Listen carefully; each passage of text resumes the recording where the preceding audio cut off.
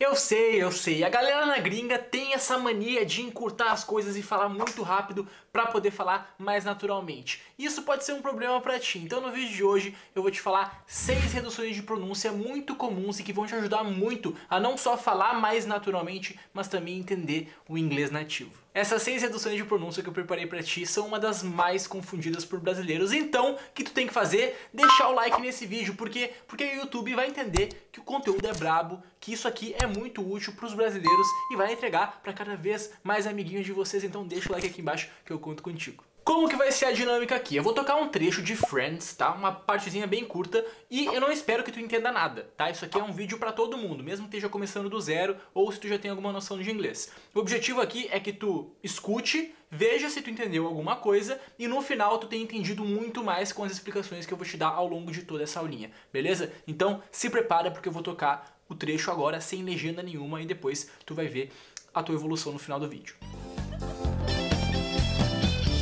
Guys, I'm telling you, when she runs, she looks like a cross between Kermit the Frog and the Six Million Dollar Man. Monica had such a crush on him. that she used to kiss his poster every night before she went to bed. Oh, I used to do that too. Did you also have his album, It's Not Easy Being Green? Oh, Mom. So, Phoebe runs weird, huh?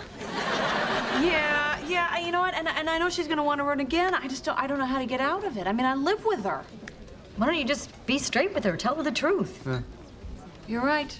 E aí, entendeu alguma coisa? Curtiu essa cena de Friends? Eu quero fazer com várias outras séries também, vídeos nesse mesmo formato para te ensinar inglês e outros idiomas de maneira completamente descomplicada. Então deixa aqui uma sugestão de cenas engraçadas que tu acha ou de outras séries também, além de Friends, beleza? Para eu fazer vários vídeos desse sentido. Bora analisar essa pronúncia então. Eu vou colocar aqui a legenda em inglês e em português para vocês e estou aqui com a minha colinha com o meu PC pra gente olhar junto o que, que todo mundo falou. Olha só. You guys, I'm telling you, when she runs, she looks like a cross between Kermit the Frog and the Six Million Dollar Man. You guys, I'm telling you, when she runs, she looks like a cross between Kermit the Frog and the Six Million Dollar Man. O que, que é isso aqui? Kermit the Frog e Six Million Dollar Man é tipo uma séries, eu acho. Eu vou colocar fotos aqui para vocês, séries antigas. A primeira estrutura que eu quero te mostrar é I'm telling you, I'm telling you. O que, que é isso aqui? Am é uma contração de I com am, beleza? I am é eu sou ou eu estou, famoso verb to be, beleza? O verbo mais importante do mundo, ok? Então, I am, am telling you. Eu estou te dizendo alguma coisa. Essa estrutura é muito comum e tu já tem que saber, beleza? A estrutura é a seguinte: I am, eu estou, e aí tu quer falar um verbo cantando, dizendo, comendo, fazendo, esse endo, ando, indo. No português é ing no inglês, beleza? Então é só tu adicionar ing no final do teu verbinho ali da tua palavrinha. Então vamos a alguns exemplos, olha só. O primeiro deles, I'm telling you, I'm telling you. O verbo é to tell, mas no gerúndio fica telling. Então, I'm telling you, eu estou falando, eu estou te dizendo, ok? Depois, eu estou bebendo, I'm drinking water, I'm drinking water, beleza? Drink, to drink é o verbo beber, bebendo fica I'm drinking, I'm drinking, eu estou bebendo. Show? E por último, I'm watching Netflix, I'm watching Netflix, ou seja, to watch é o verbo assistir, olhar, né? Então, watching é assistindo, eu estou assistindo Netflix, beleza? E aí, a primeira redução de pronúncia que eu quero te mostrar é watching, watching ou drinking, drinking. Por quê? Porque esse G no final ele não é pronunciado, então principalmente quando a gente tem palavras depois, a gente não, não fala esse Gzinho, tá? A gente não fala, a gente fala rapidão e como se fosse um apóstrofe ali, como se ele não existisse. Primeira regra muito importante. Aí depois, quando a Rachel fala, ela fala assim, ó, she looks like a cross between. She looks like a cross between. Vamos ver o que, que é esse negócio aqui, ó. To look like alguma coisa é parecer. Quando tu parece com alguma coisa é look like. E nesse caso, ele está falando que a Phoebe looks like alguma coisa, beleza? Então olha só, she looks like a model. Um outro exemplo com essa expressão, she looks like, ela parece com uma modelo, porque ela é muito bonita, então ela parece uma modelo. She looks like a model. Depois, I look like an artist. I look like an artist. Eu me pareço, eu pareço um artista, beleza? Look like. Qual que é a diferença aqui? O Szinho. Por que, que tem um S? Porque she exige que tu coloque um S na maioria dos verbos em inglês, tá? O resto, que não é she ou he, ela ou ele, fica só sem o Szinho mesmo. Look. Mas she e he fica looks, beleza? Então she looks like a model. E aí, seguindo a nossa frase, a gente tem a cross between blá blá blá e blá blá blá. Nesse caso é Kermit the Frog e The Six Million Dollar Man. O que, que é isso? Kermit the Frog e Six Million Dollar Man são duas séries antigas, ok? E uma cross between duas coisas, cross between algo, é uma mistura entre duas coisas. Então, eu coloquei um exemplo aqui, ó. Cross between two things. Cross between two things. Mistura entre duas coisas, beleza? É uma expressão muito legal e que a Rachel usou aqui, beleza? E aí, durante todo o diálogo que eu vou destrinchando, eu pego os exemplos e vou dando mais exemplos para vocês entenderem como que se usa cada estrutura que elas usam, ok? Então, vamos pro próximo. Monica had such a crush on him. o Ross fala assim, Monica had such a crush on him. Ele fala exatamente isso, tá? E ele fala him. E existe no inglês nativo uma contração disso. Nesse caso ele falou muito relaxado, ele falou de boa, assim, falou devagar. Então ele não teve essa contração. Mas sempre, sempre não, várias vezes acontece. Him fica M. Como assim? Ele poderia falar Monica had such a crush on him. On him, on him, on him. Esse on him pode ser cortado para on him, on him. Beleza? Essa palavrinha him normalmente tem uma palavra antes dela, né? Então tem uma contração e aí o him fica só him, him, ok? No inglês falado, bem rápido. Aí ele fala o seguinte, olha só. Yeah, she used to kiss his poster every night before she went to bed. Yeah, she used to kiss his poster every night before she went to bed. Olha o que, isso significa. Ela costumava beijar o pôster dele toda noite antes de ir pra cama, antes de dormir, ok? E aí, o que, que a gente tem aqui? Primeira expressão, used to, used to. Quando a gente tem used to mais alguma coisa, significa que aquela coisa era costumeira, acontecia com frequência no passado beleza? E é muito simples de usar. Então, um exemplo, eu costumava jogar futebol, I used to play soccer.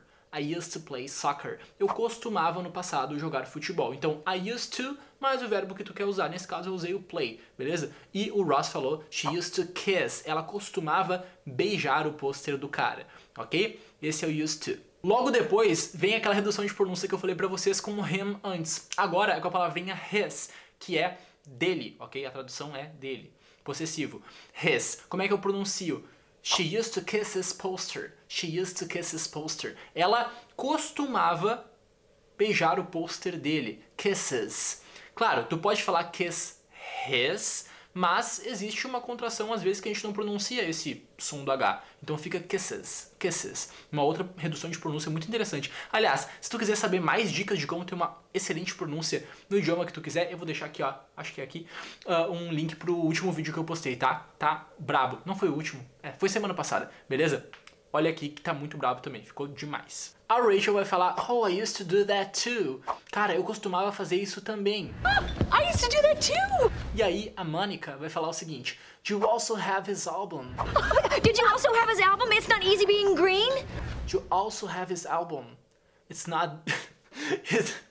It's not easy being green. Cara, essa série é sensacional, velho. It's not easy being green. Esse é o nome do álbum do Kermit the Frog, porque ele é um sapo, tá? Não é fácil ser verde. Cara, sensacional. Enfim. E aí, qual que é a redução de pronúncia que eu quero mostrar pra vocês? Quando a gente vai perguntar alguma coisa, a gente fala did you no passado, né? Did you blá blá blá. Essa é uma pergunta muito frequente, né? Did you alguma coisa. Só que, no inglês falado, existe uma redução de pronúncia muito interessante, que é Jill, Jill, ou ja, ja. Pode ser a mesma coisa, beleza? Então, ao invés de dizer did you, did you, eu falo ja, ja. Então, Jill also have his album to also have his album, ok? Ao invés de did you, beleza? É uma redução bem interessante de saber que eu demorei muito tempo para aprender e que eu tô passando para vocês agora. Muito brabo essa redução. Tá, Lucas, mas como assim? Não é do na pergunta? Olha só, olha só. Pergunta afirmativa seria You also have his album. You also have his album. Que significa uma afirmação. Você também, eu tô afirmando, você também tem o álbum dele. Agora, se eu fosse perguntar, eu botaria o do antes beleza? Só que eu tô perguntando no passado, pô, tu também tinha o álbum dele? Ao invés de, de botar do, eu boto did, ok? Did é o do no passado, é o meu auxiliar no passado. Por isso que aqui tá o did e não do, beleza? Pra desconversar, a Mônica fala, so, Phoebe runs weird, huh? So, Phoebe runs weird, huh? Ela fala, huh, no final. Esse huh é tipo em, mais ou menos como se fosse um em no português, mas não é exatamente a mesma coisa, ok? E aí o que acontece? Esse runs aqui, como eu falei pra vocês, tem um Szinho, beleza? Com um he ou com um she. Nesse caso, Phoebe é o nome da she, da ela, que é uma personagem feminina, ok? Na sequência, a Rachel vai falar, yeah, yeah, and you know what? I know she's gonna wanna run again. Yeah, yeah, you know what? And, and I know she's gonna want to run again. Tipo, cara, quer saber? And you know what? And you know what? Esse and you know what é muito utilizado, tá? Em vários filmes e séries. Então, é tipo, e quer saber? Quer saber do que mais? Beleza? É mais ou menos isso. E aí ela fala, I know she's gonna wanna run again. Eu sei que ela vai querer correr de novo. Beleza? E aqui a gente tem uma redução de pronúncia muito, muito importante. Quando a gente vai falar de futuro, alguma coisa no futuro, a gente sempre usa, por exemplo, she's gonna alguma coisa. Esse gonna a gente talvez não aprende muito cedo na escola tradicional, que é basicamente going to, going to, tá? Só que várias vezes o to ele é juntado com a palavra antes, então going to fica gonna, gonna. Então I'm gonna, I'm gonna, I'm going to. Eu vou fazer alguma coisa. Nesse caso aqui, ela fala she's gonna wanna run again. She's gonna want. She's gonna want. She's gonna want. Ela vai querer, tá? She's gonna want. Ela vai querer. Outros exemplos aqui. She's gonna work. She's gonna work. Ela vai trabalhar no futuro. She's gonna work. Sempre essa estrutura. She's gonna e depois o verbo que tu quiser usar, nesse caso, work aqui. Depois, she's gonna love it. She's gonna love it. Ela vai amar isso, cara. She's gonna love it. Ok? She's gonna e o verbinho depois. Essa é a nossa quarta redução de pronúncia. E logo depois a gente já tem a nossa quinta redução de pronúncia, que é wanna. Wanna. A mesma coisa que acontece com gonna, só que com want. Então, quando a gente fala going to, a gente fala gonna, na verdade, bem rapidinho. E quando a gente quer falar want to, que é querer fazer alguma coisa, a gente fala ao invés disso wanna, wanna, porque é rápido, é uma contração, uma redução de pronúncia muito importante para falar como um, nativo, como um nativo, tá? Entre aspas, como um nativo. Outro exemplo com wanna, I want to be there. I want to be there. Fica contraído para I wanna be there. I wanna be there fica muito mais fácil de falar. E gente, antes de ir para a próxima redução de pronúncia, eu preciso te falar uma coisa muito importante. O inglês e vários outros idiomas também tem várias outras reduções de pronúncia que eu não consigo passar em videozinhos curtos aqui no YouTube, tá? Então eu tenho aulas completas, cara, em cada um dos idiomas, ensinando o meu método também, que eu vou deixar aqui no link da descrição para tu te cadastrar. São aulas bem mais completas, mais longas também, cheias de conteúdo para tu poder baixar também. Eu preparei com muito carinho, então clica no link da descrição para acessar elas, tá bom? Na sequência, a Rachel fala o seguinte: I just don't know how to get out of it. I just don't, I don't know how to get out of it. I mean, I live with her. I just don't know how to get out of it. O que, que significa isso? Eu só não sei como sair dessa, como me livrar dessa, tá bom? Vamos falar mais pausadamente. I just don't know how to get out of it. Out of it. E esse get out of it é, é uma, assim, uma redução de pronúncia bem característica, tá? É a mesma coisa que o de antes, né? Aura, aura. O out of fica aura. Assim como gonna, assim como o wanna, ok? I don't know how to get out of it. I just don't know how to get out of it. Get out of it, get out of it. Ok? É uma redução de pronúncia bem importante. Mas essa não é a sexta, tá? Essa daqui já é quase a mesma coisa que a última. A sexta é I don't know, I don't know, I don't know, I don't know. Falando devagar, a gente fala I don't know. Mais rápido, I don't know, I don't know, como tá escrito aqui, ó, numa, numa redução mais grosseira, tá bom? I just don't know how to get out of it, ok?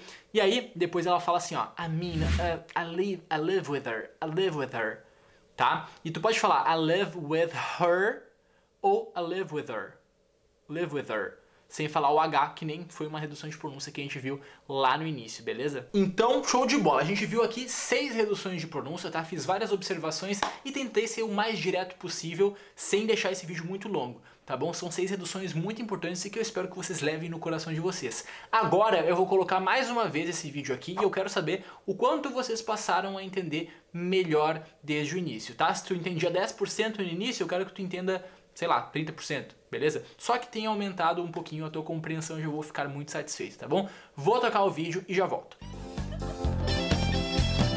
You guys, Guys, I'm telling you, when she runs, she looks like a cross between Kermit the Frog and the Six Million Dollar Man. Monica had such a crush on him. yeah, she used to kiss his poster every night before she went to bed. Oh, I used to do that too. Did you also have his album, It's Not Easy Being Green? Oh, So, Phoebe runs weird, huh? Yeah, yeah. You know what? And, and I know she's gonna want to run again. I just don't. I don't know how to get out of it. I mean, I live with her.